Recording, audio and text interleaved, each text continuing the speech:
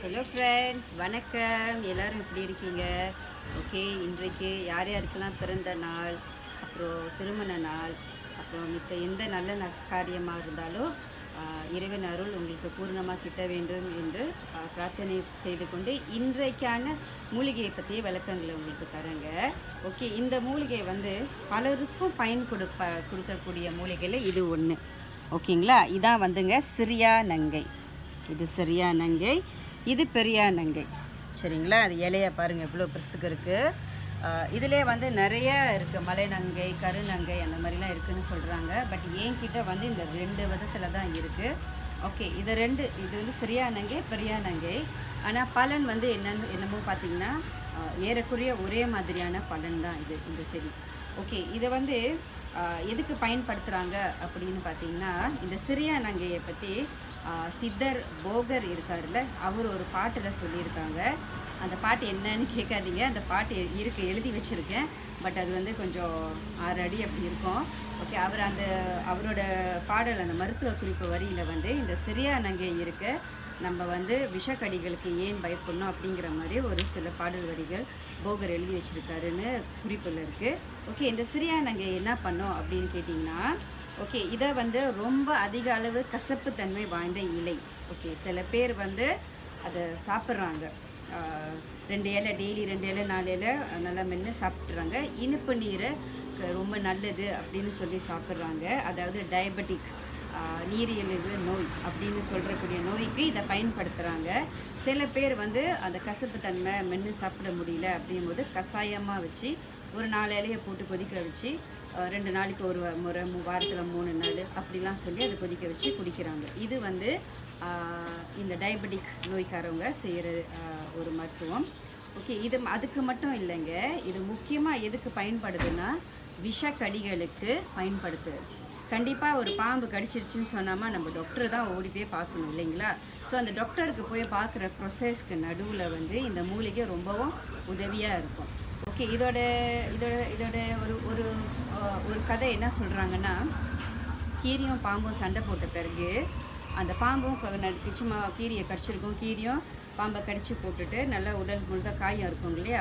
அது என்ன பண்ணுமா? காட்டில் போய் இந்த சிறியானங்க பெரியானங்க இருக்கிற புதருக்குள்ளே போய் சிறியானங்க இலைகளை நிறையா கடிச்சு கடிச்சு மண்ணு மண்ணு மண்ணு துப்பிட்டு அதில் உருண்டு கரண்டு ரெஸ்ட் பண்ணிவிட்டு அப்புறம் வெளியே போவோம்.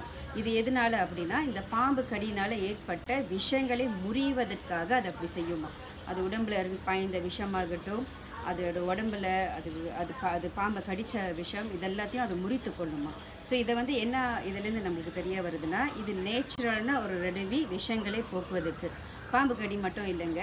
இந்த பூரான் தேன் அப்புறம் இந்த ஸ்பைடர் இதை இதை வந்து ஹைக்கிங் போகிறவங்க இல்லை உதாரணமாக இந்த வீடு ஸ்டோர் ரூமில் அதெல்லாம் பார்த்திங்கன்னா விதவிதமான ஸ்பைடர் இப்போ நம்ம ஹைக்கிங் அடிக்கடி போகிறனால காட்டுகளுக்கு விதவிதமான ஸ்பைடர்ஸ் அதாவது சிலந்தி பூச்சி அதுங்களை பார்க்கலாம். அதுவும் வந்து கடிச்சிச்சுன்னா விஷம்.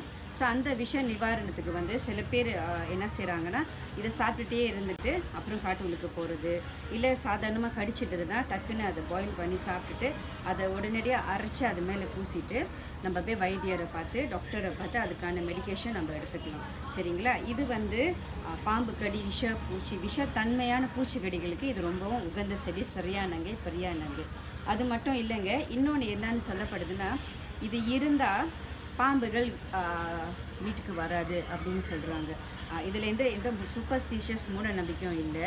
இது என்ன காரணம்னு பார்த்தீங்கன்னா இந்த இலையில் படக்கூடிய காற்று காற்றானது பாம்பின் உடம்பு மேலே பட்டுச்சுன்னா அதோட உடம்பு வந்து சுருங்குமா? அதோட சிதல் சித் சித் சிசேக் சொல்லுவாங்களே செதில். ஆ அது உடம்பெல்லாம் இருக்குங்கள அது வந்து சுருங்கிக்குமா. ஸோ விரிந்து அது ஊர்ந்து செல்ல முடியாமல் அதுக்கு கஷ்டமாக இருக்கும். அதனால பாம்பு வந்து அவாய்ட் பண்ணும் இந்த சரியான அந்த செடியை அது இருக்கிற பக்கம் அது போகாது.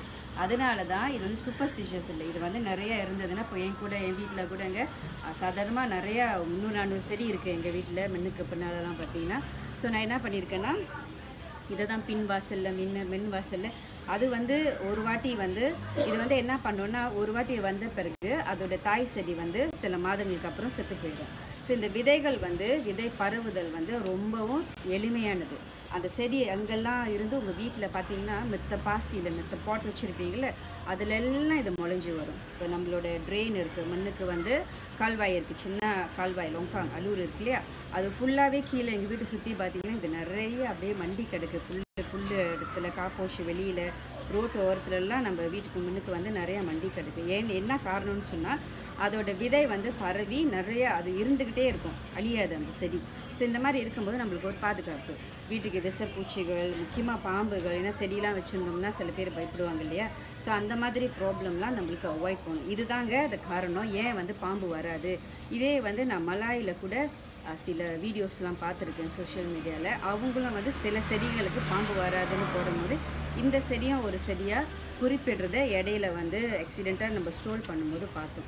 இது வந்து நம்ம நம்ம ம மக்கள் இதை பரவலாக சொல்கிறாங்க பட் அவங்களுக்கும் அந்த நம்பிக்கை இருக்குது சரிங்களா? இதை வந்து இதை மட்டும் இல்லை இதை வந்து அடிக்கடி உட்கொண்டு அந்த நீரை பருகும்போது முகம் தனியாக பொலிவு பெறும் அப்படின்னும் சொல்லியிருக்காங்க. இந்த சிறியா நங்கையை வந்து நல்லா நிழலில் உருத்தி நல்லா உருண்டை பண்ணி அதை வந்து சாப்பிட்டுட்டே வரும்போது இந்த வயிற்றில் இருக்கிற புழு அப்புறம் இந்த பிள்ளை பெ பிள்ளை பேர் குறைபாடு இருக்கிற பெண்கள் ஆண்கள் அவங்களுக்கும் இதை மருத்துவத்தில் ரொம்ப பயன்படுத்துகிறாங்க ஸோ இந்த சிறியா நங்கை உங்களுக்கு வேணுங்கிறவங்க என்னோட ப்ரொஃபைலில் வந்து தொடர்பு கொண்டீங்கன்னா அங்கே எண்கள் வாட்ஸ்அப்புக்கு வரக்கூடிய எண்கள் எல்லாம் இருக்குது நீங்கள் அதன் மூலயமா என்னை தொடர்பு கொள்ளலாம். நன்றி வணக்கம்.